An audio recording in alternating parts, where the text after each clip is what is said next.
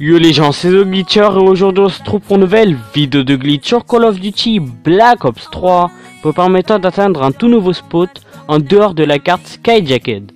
Donc pour commencer ce glitch, devrez vous rendre au même endroit que moi dans la vidéo, tout simplement faire un double saut au même coin que moi et vous décaler vers la gauche au maximum jusqu'à que vous voyez que l'alerte disparaît. Donc j'espère que cette vidéo de glitch vous aura plu. Moi je vous laisse sur ces images, je vous dis à la prochaine pour de toutes nouvelles vidéos de glitch. C'était Zeo, bye tout le monde.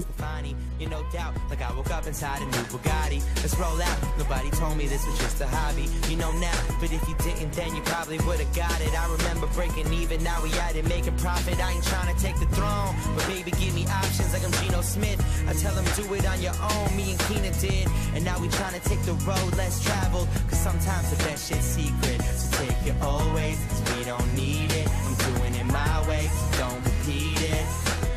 And if you say it's just a dream, I don't feel it. You wanna take me down a notch, but this is more appealing. Like, I got the type of life that no one trying to mess with. You got the Michaela Maroney bitches ain't impressed with. Go